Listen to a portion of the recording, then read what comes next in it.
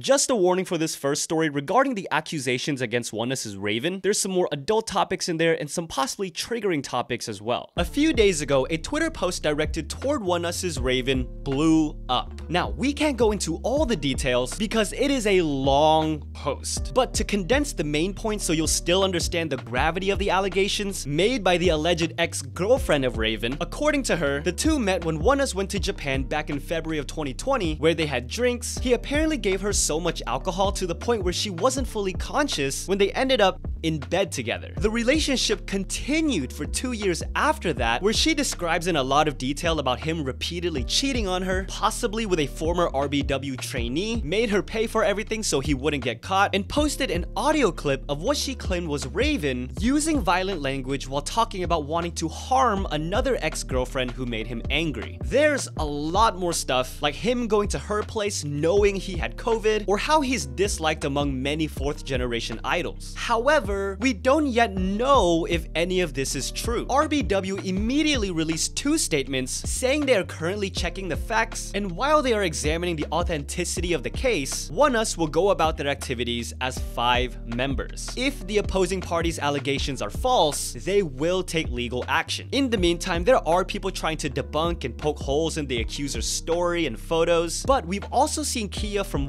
ONEWE, ONEUS's brother group, unfollow RAVN and removed all of their collaborations from SoundCloud. Again though, until we get an official update on this case, we can't really make a definite judgment one way or the other. Hopefully we also get an update on Enhypen Sunghoon after he just fainted at the JFK airport in New York. Now, I'm not gonna show you the actual video of him fainting, but this is to show you guys that an ambulance did come to hopefully take care of him. Enhypen have not only been busy in Korea, but have also been on tour recently. I got to see them at KCON as well. On top of all that, Sunghoon just recently wrapped his stint as Music Bank MC, so it's no wonder he's being pushed to his physical limits. Fans are also worried about LE SSERAFIM's physical well-being, as it was just reported a few hours ago that they had been in a minor car accident. Thankfully, no one was significantly injured. However, Yunjin and Chaewon are suffering from muscle pain and bruises, and because they just kicked off their first comeback promotions, those schedules have now been cancelled or postponed. On top of physical well-being, fans are also worried about Nayeon's mental well-being along with that due to a development regarding the stalker. We last talked about this person who has somehow returned to Korea despite a reported restraining order with arrest if he ever stepped foot in Korea. It was said that when he got to Korea last month, he allegedly found Jeongyeon's phone number and tried to directly contact her. JYP Entertainment told us they were internally discussing it with various departments. Well, this person has now taken it another step farther and has found Nayeon's apartment filming a video of himself outside of it. Unfortunately, we don't really know more than that or what's happening as we speak, which is unnerving in this situation. Another update to a previous story is regarding the accusations toward dancer Vata that he plagiarized ATEEZ. We went into full detail in a previous video, but long story short, Vata from Street Man Fighter used a dance that many pointed out seemed way too similar to ATEEZ's choreography from their 2019 song Say My Name. Not only did fans point this out, the original choreographers spoke on this, and even ATEEZ's Wooyoung seemed to have called this out himself. And although Vata and his crew have been known to be upset when others copy their dances, he has now released a statement saying at first he thought this was something that would just go away, but has now decided to address it. He then goes on to describe how he came up with the dance himself, stating he believes the intention behind this move sequence is entirely different from the one it's being compared to. He ends it by saying he's disappointed by the lack of respect between artists and dancers, and while we wait to see if and how this is rebutted, the next update is a story we briefly, briefly touched on last week about Jessi being stranded in Paris by someone people are calling a con man. Jessi recently embarked on her European tour, and a few days ago posted an Instagram story telling fans she was stuck in London after paying her own way to get there, and if we only knew what she was going through. She then followed that up by saying she has to perform tomorrow, and quote, this man keeps stranding me outside. We later found out she was also stranded with her mom. After that, we didn't hear anything from her, but a few people were able to contact her somehow, updating us that she eventually got into a hotel. Fans online began calling out the event organizer, aka the aforementioned man behind all of it, exposing things he's allegedly done similar to this. However, despite everything, nothing was going to stop her from seeing her fans in Paris, and it looks like nothing was going to stop her from exposing this man either.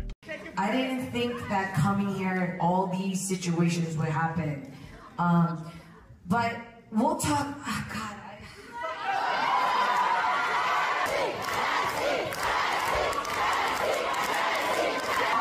So I was gonna cancel this tour because of this guy, this guy, and um,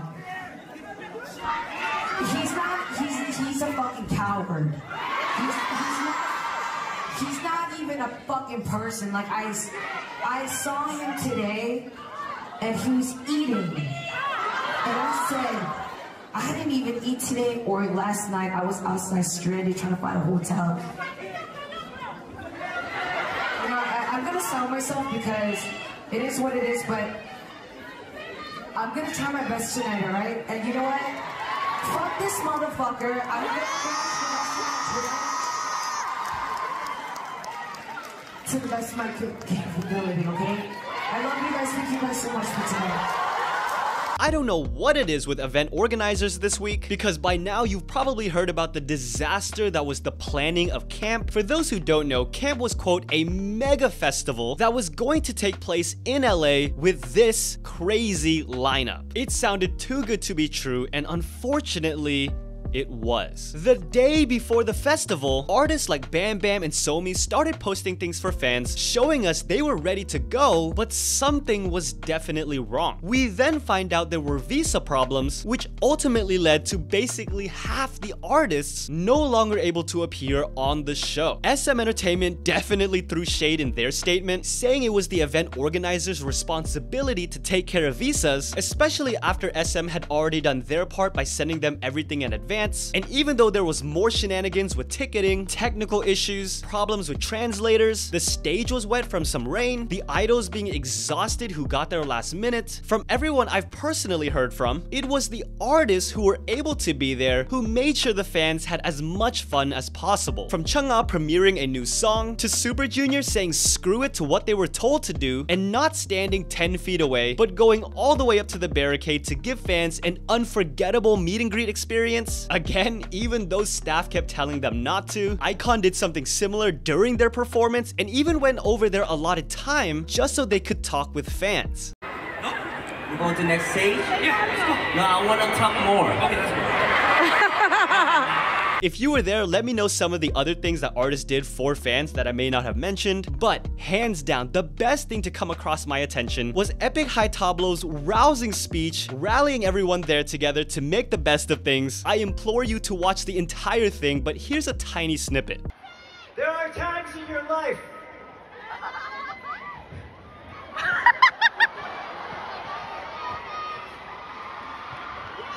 where you don't always get what you want. And it breaks your heart.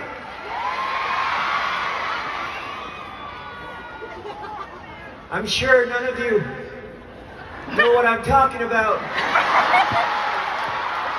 But to piggyback off Tablo's beautiful words, let's celebrate the positive things going on in K-pop that we did want. Congrats to Stray Kids, because on top of being one of only three groups in history to sell over 2 million albums in the first week, their latest album debuted number one on the Billboard 200. This makes them the first Korean act ever to debut their first two charting albums on the Billboard 200 straight to number one. The scary thing is they have such a long career ahead of them to break even more records because we just saw Highlights celebrate their 13th anniversary, also announcing another comeback at their concert going as strong as ever. Of course, we have huge comebacks taking place right now, and within those comebacks, congrats to DKZ taking home their first ever career music show win. We also have huge concerts taking place like NCT 127, but don't worry, Yuta didn't hit anyone with a sign ball at this one. No, no, no, it was actually Do Young this time. We also had Blackpink kicking off their world tour with what seemed like every celebrity you could imagine attending. And Jennie even performed an unreleased song, which I've been trying to avoid so I can experience it live. And of course, we also had BTS's Yet to Come concert in Busan, where Jin revealed he would be releasing his solo next with a song that we now know was gifted from Coldplay. And now we also know why this announcement was made, because it has finally officially been announced that BTS will indeed be enlisting in the military, starting with Jin. Rather than waiting for the government to make a decision, it seems like Hybe and the guys have decided for themselves. Jin was said to have already applied to cancel his enlistment extension, and the other members will sequentially follow suit.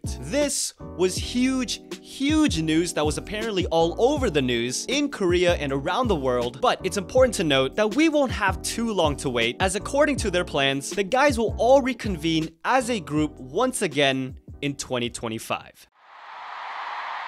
네, 오늘 공연 너무 즐거웠고 감사합니다. 사랑합니다.